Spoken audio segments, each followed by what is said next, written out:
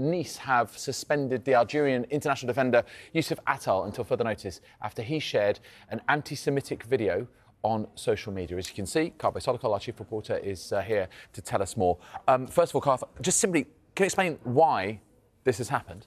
Uh, well, the player, Atal, has been on international duty with Algeria.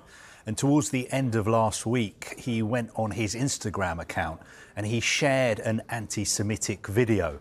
Uh, now, I think pretty quickly he deleted that video and he also issued a public apology. But since he's returned from international duty to Nice, his club have asked him uh, for an immediate meeting with club directors. And at that meeting, he was told that the club were taking immediate disciplinary action and he was suspended until further notice. Now, at the same time, the Nice Public Prosecutor's Office uh, are investigating him for public incitement of hatred or violence because of a particular religion.